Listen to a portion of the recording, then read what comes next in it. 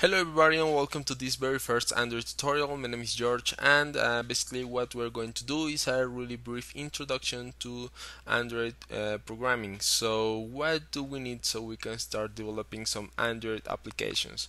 Uh, that is basically what we're going to discuss in this video. So the first thing that you will need is that you will need to know a little bit of uh, the Java programming language and that is because uh, every native and I really uh, want to mark that one like every native Android application uh, you develop is going to be uh, using uh, the Java programming language because that is how it is made. So basically that's why.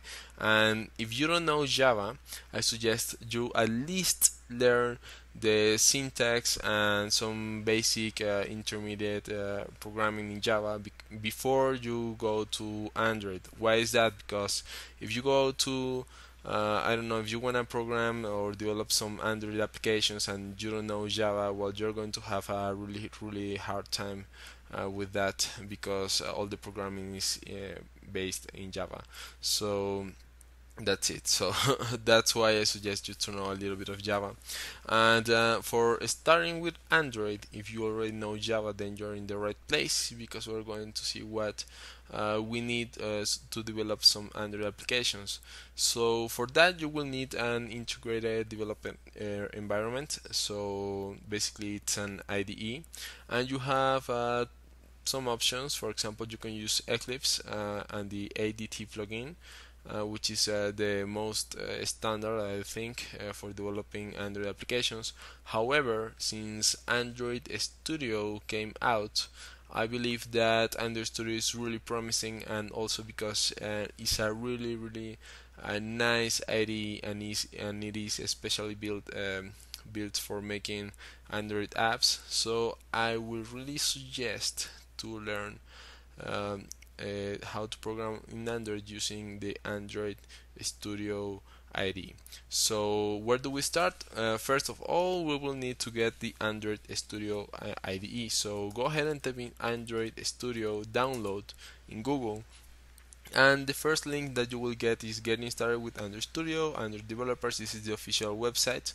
You can go over here and this site you will be able to download Android Studio for your uh, platform. In my case it is for Mac, however you can download it for Windows, Mac OS, Linux, whatever. And you just go ahead, click on download, accept the terms and conditions and download. Of course you, you would like to read this first. Um, after you download it you can just install it and that's it. That's all you need. Now I have to uh, comment some things over here. For developing with Android, you will need something called uh, the SDK. Uh, basically, this is the Android development kit. However, it, it, it comes integrated with Android Studio. So when you have Android Studio, I will just show you a little bit of that. Okay. The development kit is basically um, is basically all the tools that you will need to develop and deploy Android applications. Now this is uh, Android Studio which is the, the one that we're going to use. Uh, another thing you will need Java installed uh, to run this because this is a program based in Java. And you can go to configuration, configure over here and here it says SDK manager. So this is the software development kit for Android. Go ahead and click this and um, you will see uh, the SDK manager, the Android SDK manager, which uh, basically will allow you to download the all the APIs available. Okay, I don't know what the hell just happened over there. Okay, forget that. Uh, but basically, it will allow you to download uh, all the tools for programming for Android. For example, the Android 4.4 API, or you can download also the API for um, basically every really important version of Android. And you can also download um, some extras for example support libraries and all of that. So go ahead and you can select one for example Android 4.4 and select every one of them and install the packages so you can run these applications. And uh, okay well this is basically uh, the what you need so you can run Android applications. Uh, another thing that you will need is that you would also be running in um, some kind of virtual machines uh, for Android. For example, if I made, I will show you re really really fast uh, so you have an idea.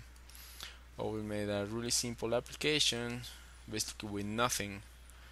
But uh, the point is that you will be able to run this on um, Android uh, virtual machines in your computer. So you can run applications in real devices um, for example a smartphone or a tablet or something or you can emulate them in the in the computer um, also another thing that is really cool with uh, Android Studio is that it comes with the Gradle build system which basically is a way that allows you to uh, specify which API you're going to use or if you're going to import some libraries for example from Maven uh, so you can um, basically uh, have more power when or more libraries or whatever when you are developing Android applications. Um, okay.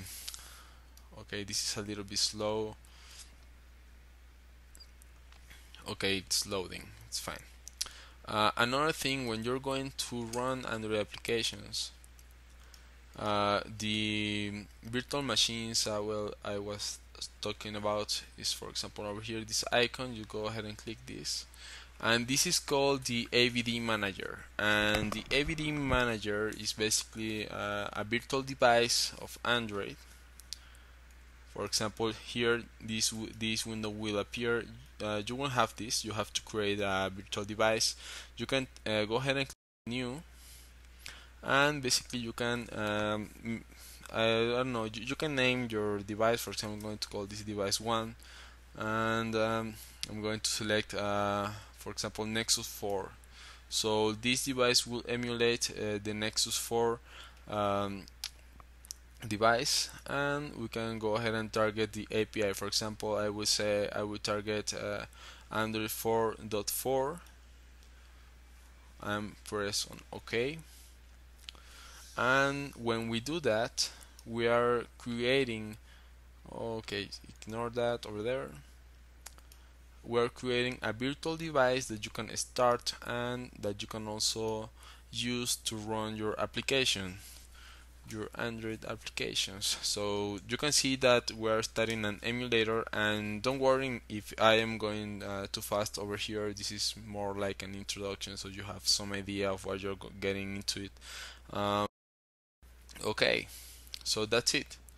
Uh, this is uh, the virtual device. It's a little bit uh, big however it needs to load so we can see a little bit more. And you can see that it is booting right here uh, just like if we had a real device on our hands um, but you can also plug in uh, via USB your smartphone or your tablet and you can deploy your applications um, in your tablet or or I don't know your Android de- uh, devices, your physical Android devices.